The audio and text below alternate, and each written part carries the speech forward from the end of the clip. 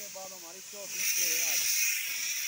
यदि आपने हर साल फ़सल लेनी है तो किस तरह से पत्ते को मेनटेन रखें। मैं से पहले पत्ते को झड़ने में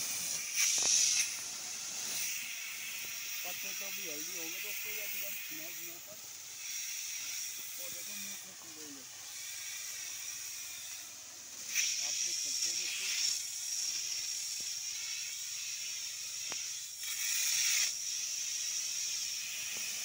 जितना हल्दी पत्ता होगा दोस्तों उतना हल्दी बीमार बनेगा